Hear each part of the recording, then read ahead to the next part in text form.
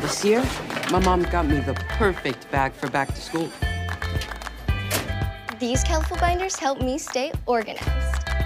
These headphones are just what I need for studying. These new sneakers are just what I need for the new year. This jacket is a real must-have. My parents got me the skateboard I wanted. It's pretty cool. These scissors really come in handy in art class. These colored pencils, too. These new socks, they can be a real lifesaver.